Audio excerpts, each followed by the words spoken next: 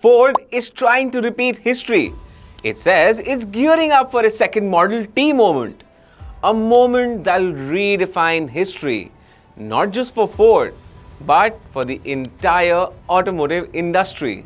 Okay, the American automotive industry for now, baby steps. So how's Ford going to pull this off?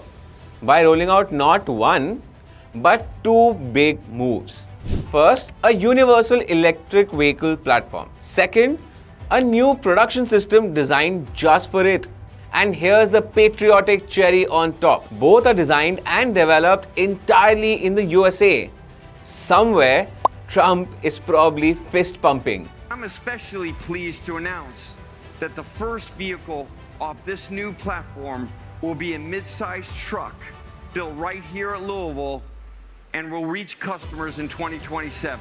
That was Ford's MD and CEO Jim Farley talking about the new platform. So let's break this down. Farley also said to be the first automaker in the United States to make prismatic LFP battery cells here in the US and not importing them from overseas. Which basically means less dependence on imports.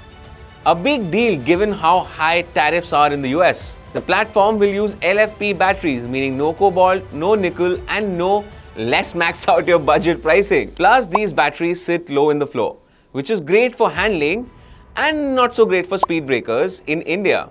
The platform is modular. Think Lego, but for grown-ups who wants SUVs, vans, crossovers, and all of the above. Ford wants variety to be a selling point, just like the Model T did back in the day.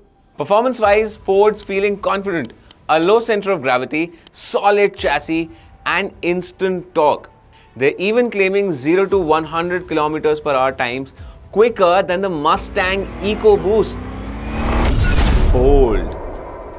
As for juicy details like truck specs, price, battery, size, range, and charging, Ford's keeping that tea for later. But here's the real headline. Ford says this scalable platform is its future. It's Model T moment reimagined for the EV era. And just like the Model T changed car making with its assembly line, this new universal EV platform comes with an assembly tree. What's an assembly tree? Imagine three sub-assembly lines working at the same time, then snapping together at the end like a high-tech jigsaw puzzle.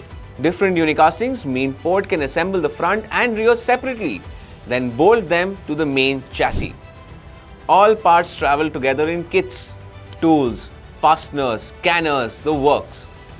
Ford claims this setup will cut assembly time by 40% and they'll use some of that time saved to make cars cheaper and better. They've already invested $2 billion in the Louisville assembly plant to build a new mid-size electric pickup truck, possibly an electric Ranger.